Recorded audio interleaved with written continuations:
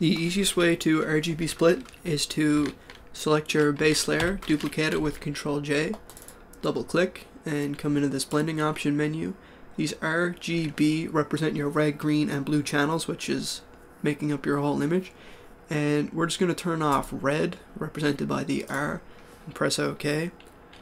And if you just hold down Control and shift it around with your arrows, vertically or horizontally or some combination of the two, you can RGB shift.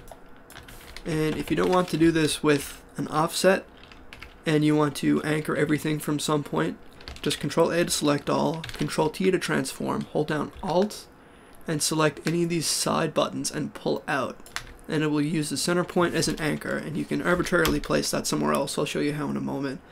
But this way the effect will be most pronounced towards the edges and least pronounced in the center if you're going for something like that. Undo that, press Ctrl T again, and drag this center point over here. And then you can even rotate or drag it out. And you can anchor it from anywhere else. One other approach is to duplicate for a safety layer and click on your channels tab and this will just show you all the red, green, and blue channels individually.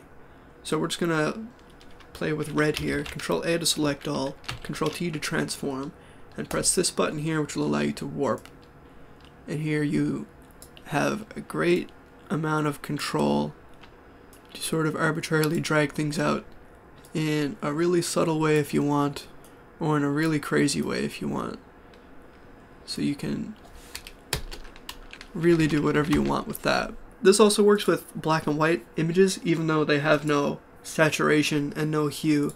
Something that's gray is just red, green, and blue values in equal proportion to each other. Like if you turn one of them down, you're gonna get a color.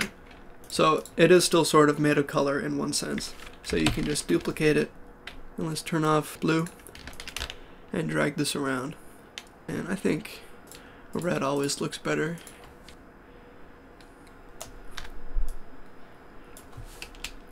So here we have the blue facing the outside and the red on the inside. If you want to switch that, just Alt Control Shift E to make a duplicate layer of all the visible layers as one layer. Control I to invert it and change the layer to color mode. And as we turn this on and off, we can see that we've switched the places of red and blue. That's just one more way to control it and get whatever you think looks better. To go a step further, you can shift channels in color spaces besides RGB. Go to Image, Mode, CMYK color, which is cyan, magenta, yellow, and black, which is a color space for printers and printing. Press OK. What you'll see here if we go back into our blending is instead of RGB, we have CMYK.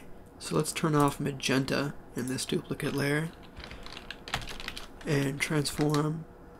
Let's just try dragging everything up. Again from our center anchor point. And let's just add some curves adjustment.